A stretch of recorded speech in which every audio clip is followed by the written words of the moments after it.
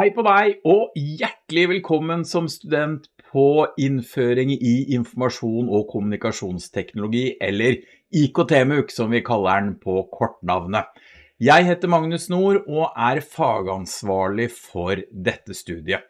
Dette er en, på en måte en slags sommerfilm til dere som har lyst til å begynne å studere nå i sommer.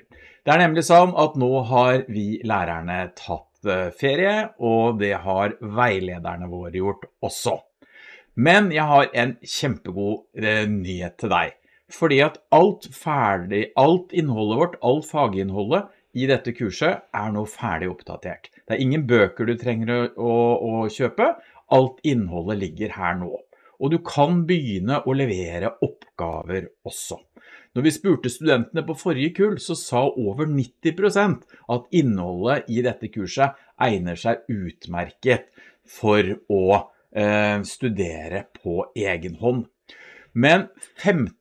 Eh, august, da starter vi opp på fullt igjen med at alle fag, eh, fagpersonene er tilbake, og veiledningen vår starter opp både på dag og kveldstid.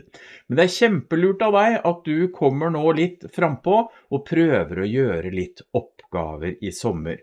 Vi kommer ikke til å svare på så veldig mye spørsmål, men det er lov å prøve seg i Facebook-gruppa vår. Svarer vi, så svarer vi.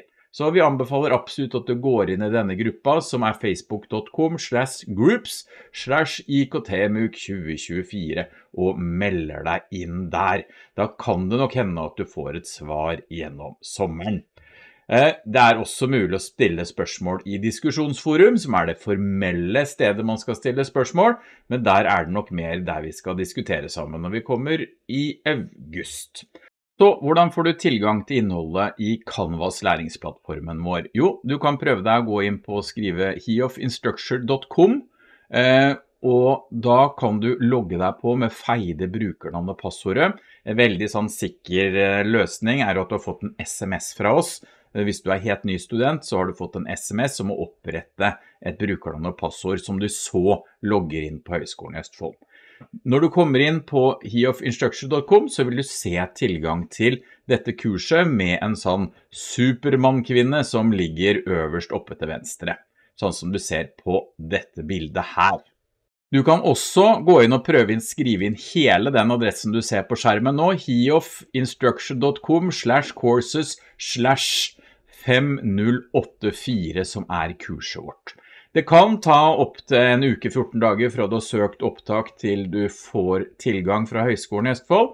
Hvis du har, har gått lengre tid enn så, så kan du sende en e-post til opptak alfakrøllhiof.no og spørre hvor lang tid det tar før du slipper inn i studiet vårt. Så hvordan går du fram hvis du skal studere? Jeg anbefaler deg å begynne med modul 0, som inneholder tre oppgaver, og så bare fortsetter du videre og videre. Jeg skal vise hvordan du kommer frem til dette. Du går inn på her det står moduler, trykker på den knappen som du ser til venstre her. Så går du inn i eh, det som da er eh, modul 0. Går inn her, trykker på denne knappen, og så trykker du på introduksjon.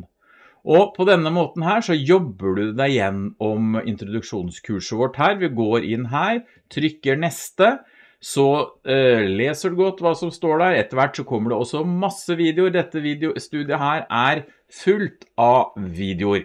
Og du ser videoene, og så får du nå på, om ikke lenge, så kommer da de første oppgavene som du skal levere inn i dette studiet. For vi vil faktisk at du skal tenke gjennom hvordan du har tenkt å studere i dette kurset. Så den aller, aller første oppgaven vi vil anbefale at du gjør, det er denne modul 0 oppgave 1.